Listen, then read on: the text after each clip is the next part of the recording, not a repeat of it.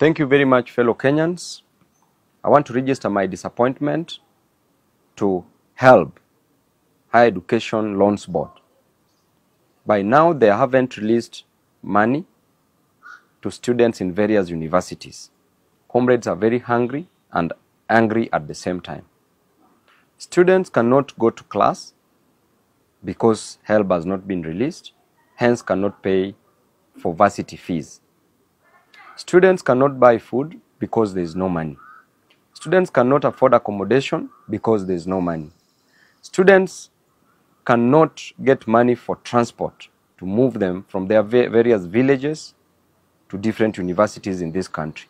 I therefore urge the Cabinet Secretary, Treasury, Professor Ndung'u, move with speed and release money to comrades in various universities. HELB must never delay. This money is very little and it is never sufficient and furthermore you are delaying it. I want to urge all student leaders in this country, in various universities, in different counties, different regions, do not sleep. Student leaders, you are sleeping. You are wasting the constituents who elected you. Instead of representing them, you are misrepresenting them. You must wake up, you must come out, you must call for demonstrations. Let HELB not delay even by one minute.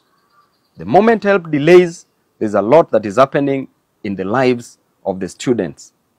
Student leaders, wake up because you are sleeping. There's nothing you are doing in those offices. HELB must never delay. University fees must never be increased. During my time, town would be upside down. You must organize for demonstrations as soon as possible. Never destroy school property, university property, never destroy any property of the public. Just hold peaceful demonstrations and let it be on a daily basis. If this government cannot release HELB to students, if this government is increasing university fees and overburdening parents and comrades, then you as student leaders, you either resign or you hold demonstrations. Do not go the dialogue way. It's either your way, it's either the way of the comrades or the highway. Do not play with the lives of the comrades who elected you. Some are sleeping, some are doing nothing. We must never joke around with the lives of the students. Thank you and God bless you all.